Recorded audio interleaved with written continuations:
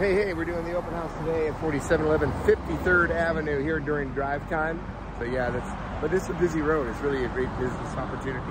The current owner uses it as an Airbnb, uh, and he does quite well with it. So, I mean, last year he's pulling in 40,000. So, um, but the Airbnb could easily as well be uh, a hairdresser salon or you can turn this into a business opportunity because all the adjacent properties have already gone GC, general commercial, and also business. So, uh, and there's plenty of room for parking. As you can see, there's enough probably for 10 to 12 spaces. It's opening up from the carport entrance is the kitchen right away with the dinette and a nice living area. It's about a little over a thousand square feet, but more has been added to the very back where they've created a bedroom.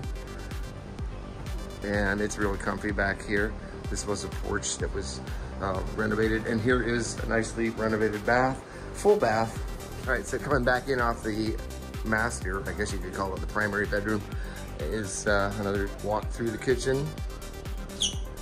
And here is our other bedrooms. There's one, two, three of them. Here's the one, and two, and three.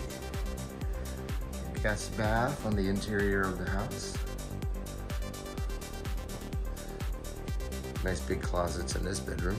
Well, let's not forget the backyard too. There's lots of storage in the backyard with two sheds.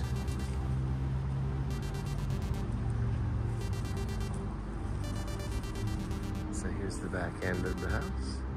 Come on and check out the open house here on a great road for a good business. Uh, lots of traffic, and uh, so you'll do really well if you have a business here on 53rd Avenue.